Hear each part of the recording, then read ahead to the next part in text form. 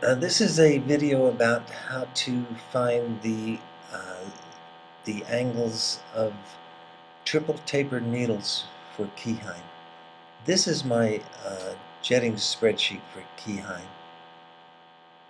And if you scroll down, it has a listing of different uh, different needles that are 65 millimeters long. Some of them are uh, triple tapered and some of are just double tapered. First, let's uh, go over how to tell whether or not it's a triple taper or a dual taper.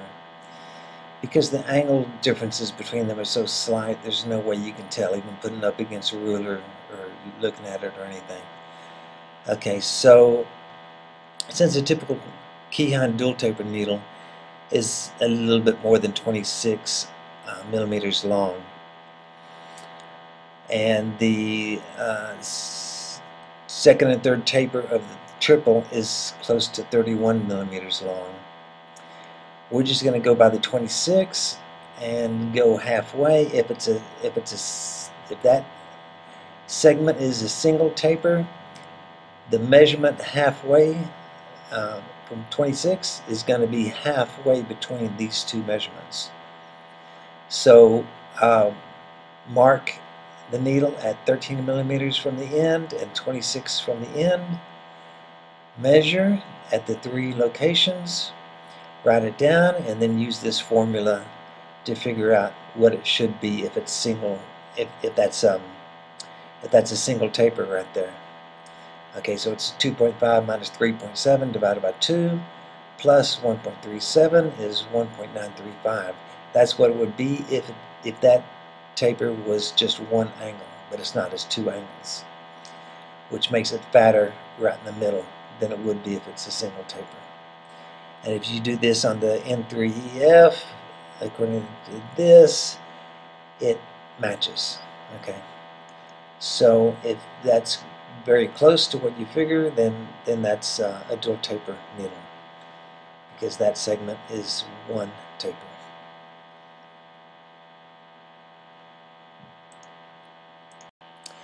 Okay, so if it's a dual taper needle, this is what I do. Looking at the available dual taper needles, most of them are around 26.6 millimeters long on the second taper. And the first taper is at least 8 millimeters long. So I use those two numbers here, uh, measuring up from the end of the taper, marking the needle, measuring the diameter, in this case 2.53, going up 8 millimeters, measuring the diameter, in this case 2.68, uh, putting those numbers into the uh, binder on my spreadsheet. So it'll be this one here, the taper angle finder, length between diameters 8 millimeters, start diameter 2.68, end diameter 2.53. It says the taper angle is 1.07. So that 1.07 is then used into put into the taper length finder. So putting the 1.07 into the taper degrees, start diameter is the shaft diameter of 2.75 and the end diameter is this diameter right here, it's 2.68 because that 2.68 is still less than 2.75 which means there's more taper to be had and so I want to know the length of that extra section of taper. So that's what this will tell me, the length between diameters. So putting all that into the taper length finder I get 3.73. Adding that to 8 I get a first taper length of 11.73.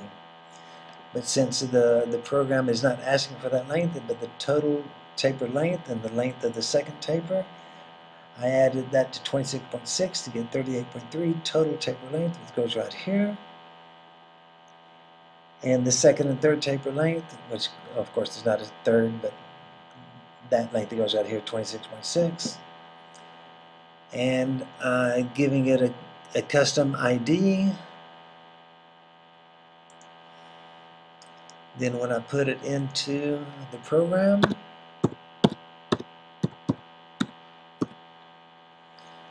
it will show me what this what the graph the graph will show me what the, the jetting will be like. In this case, it's too lean. So that's it for dual tapered. Now we'll go on to triple tapered. So if you look at these three and their their lengths of the different tapers, you'll find that the third taper varies from 14.9 to 15.5, the second from 15.4 to 15.9, and the first from 4.5 to 7.6. So what I've done is I've averaged these two to get these two lengths and we're just going to go with the smallest size on this one. So if you have uh, a 65 millimeter needle, you measure from the the end, not the very tip if it becomes a point, uh, the end of the taper up 15.2 millimeters and you measure that diameter. Then you go 15.6 millimeters up and you measure that diameter. And you go 4.5 millimeters up and you measure that diameter. And some of these needles will, will become have a step here to become fatter. Before it does that, measure the, the width of that straight portion of the needle. Um, and that will give you these five measurements right here. Okay. So then if you go to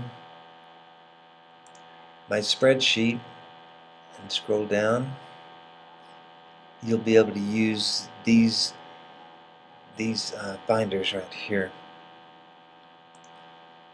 So you use the taper angle finder. Just out of curiosity, you you'll do it for these two, but those those angles aren't even uh, used in um, when you enter the data. Let me show you. So these are the ones that I know about, and then if you, the ones that aren't known, you have to do the measurements and enter them into one of these rows right here. So this one I'm working on right now, I just labeled it as custom one, and then all the data will go in here. And then later to see it on the mm-hmm. graph, you also have to put the same idea right here, which will be custom one. Just click on it and type it in. And it'll show you the graph right here. This is showing a, a pretty lean mid-range. Okay, so going back here, you'll put those those lengths in 4.5 and then that that measurement 2.68 right here that measurement 2.64 right here and it'll tell you the taper angle. This is the only one you really need to know because we're going to use that angle to find out the, the total length of that first section. Because of course 2.68 is not 2.71 it's less which means that uh, that taper continues on until it reaches 2.71 so, so when you put 4.5 there, and then those two numbers here and here, it tells you 0.51, and use that 0.51 here. And the start diameter would be this diameter right here, and the end diameter is, uh, I think, this one right here, yeah, 2.68. And it'll tell you the, the, the length of that taper, which in this case is 3.37, rounding it up to 3.4, adding that to 4.5, that distance right there, gives us 7 point. You need that 7.9 to, to be able to add up to these other two distances to get the total taper length. In this case is 38.7, which you enter right here. Okay. And that is about it. Yeah, it's pretty pretty straightforward. Even though you're going to be off a few fractions of a millimeter here, it don't matter. You know, you're going to get you're going to get very close to reality doing that. Uh, I'm not going to say that that's always this is always a good scheme because I found one one uh, triple tapered needle which is the N8 5F which right here is 13.1 millimeters. But in most cases, this is gonna this is gonna be in the ballpark because most of them are like this scheme right here. Okay, so that's it, my friend. Uh, have fun. Figure it out.